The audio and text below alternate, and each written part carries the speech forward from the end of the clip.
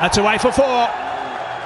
Sometimes over pitch a little bit, but look, I don't think the Australians will be too bothered with that because that's the outside half of the cricket bat playing away from the body, and there's three slips fieldsmen ready to take the catch. Oh, doesn't carry.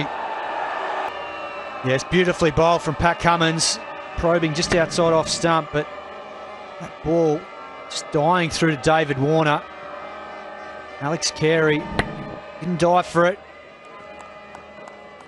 A bat pad or caught it first slip.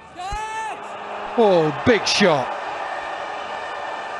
He's not allowing Nathan Lyon to settle on that length. He's decided to back himself and go downtown, just hit through the line of the ball. Kept his head down beautifully. Couple of bowlers. That's an outside edge. He's got that away though. In the air for a while, and that's going backward a point for a boundary. Once again, the bowlers won't be disappointed, and it's just that, that lack of control when it's away from the body. He's playing outside the line of his head. Short and wide, put that away. That's the danger, of course, when you've got a part-timer involved.